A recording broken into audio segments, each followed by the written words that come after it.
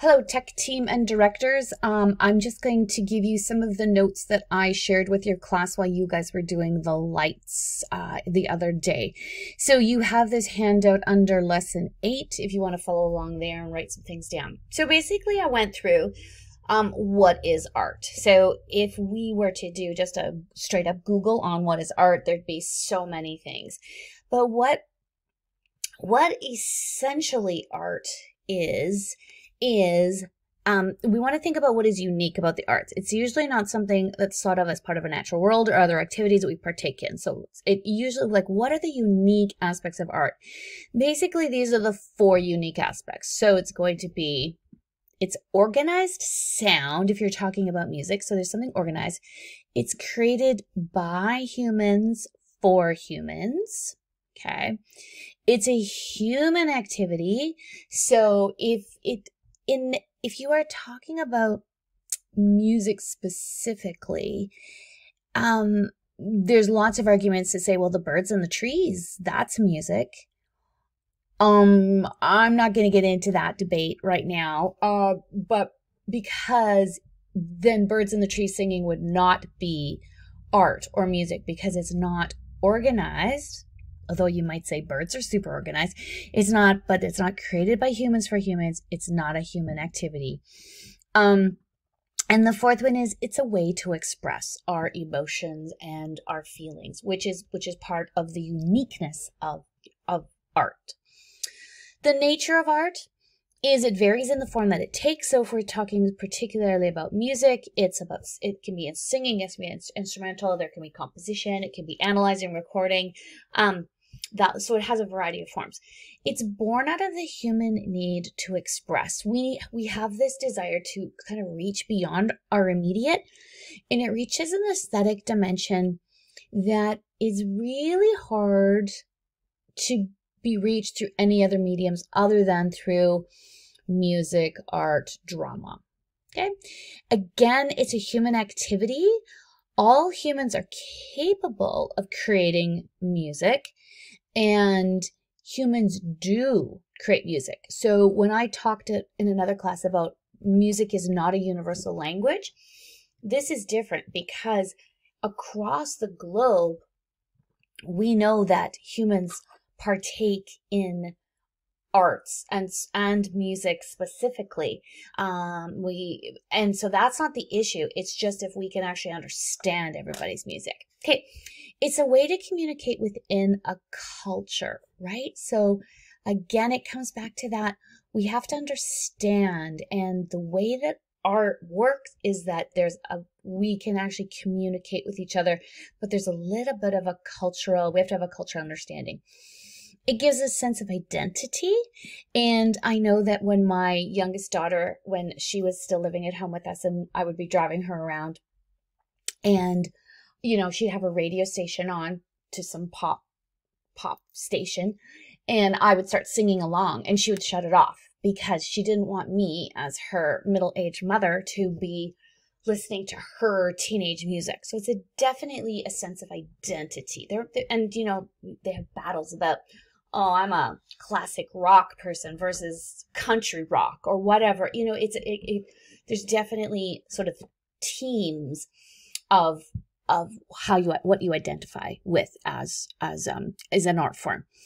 It is something you have to experience. Again, remember when I was, I was uh, telling you about that um about that that experience that I had in Norway. I mean, I can tell you about that, but you have to be there to experience it. You have you have to experience it yourself. That's the nature of art. And when it stirs any emotion, it's doing its job. So it doesn't have to be a f- nice emotion. It can stir a really um, negative or really vehement emotion, but as long as it stirs some kind of emotion. That's why some people say elevator music is not actually music or art because it's just organized noise, but it's not actually music because it doesn't stir any of our emotions. Okay, why is art important? Um, I think life would be pretty dreary and bleak without it. It's no one would die, but there would be a quality of life that would definitely be missing. And I think art really enriches our lives. So it's the difference between existing and living, right? Uh, just think about no movies, no plays, no musicals, no singing, no dancing, no paintings on the wall. Like it would be kind of bleak and dreary. So number two, the arts represent an, an important difference between existing and living. Oh, look, it's there twice. Um, art provides an avenue for expression. Okay. It art is found across the globe and across time. So when I was in Egypt, uh, we were looking at hieroglyphics and there are, you know, pictures of people with lutes and harps. It's across the globe and across the time. And so we as as humans evolve and change we leave behind things that are not necessary to take us to the next sort of level. However if we didn't need music and art it would have been left behind a long time ago. But it keeps coming throughout the ages with us. Okay? Um, it supports the communication of culture throughout through art.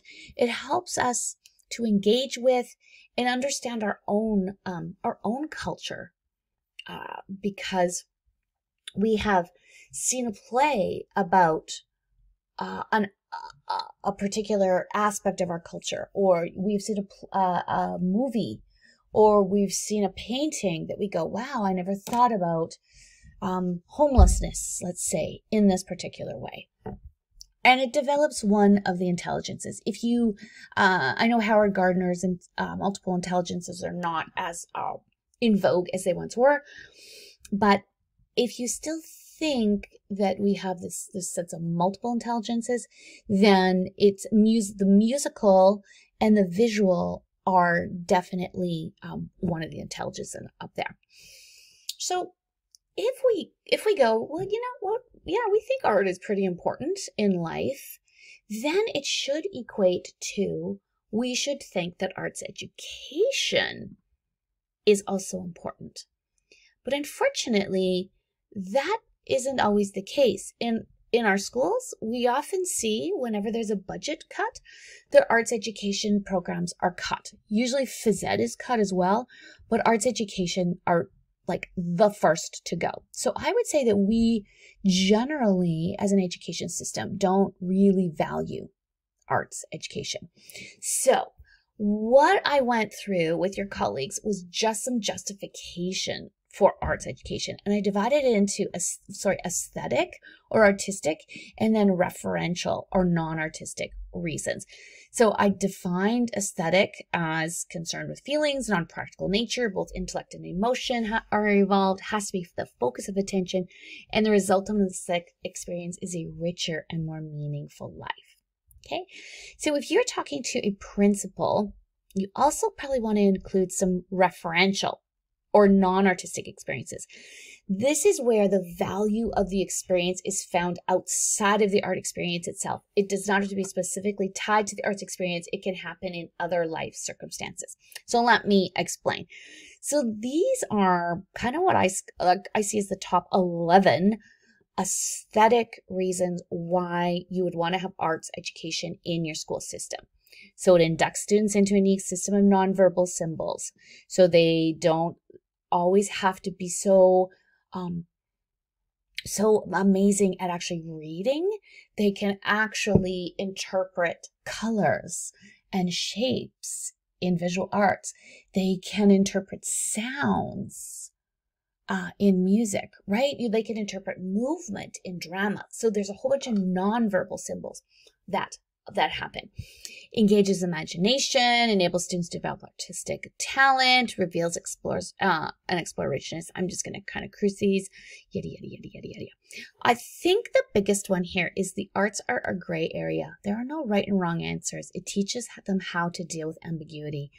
I think as we go into a society where black and white is not going to be nearly black and white thinking is not going to be nearly as important as gray. I think the arts are going to have a real um, a real come back, a real renaissance um, in education. That's what I'm hoping, anyways. These are justification for arts education from a referential or non-artistic point of view. So develop citizenships, there's health benefits, um, it helps literacy, numeracy, arts schools to achieve goals beyond themselves, moral character. So again, your principal might say, yeah, but I could also get a have a basketball team or chess club and it's true. These are these are not necessarily only um, artistic benefits.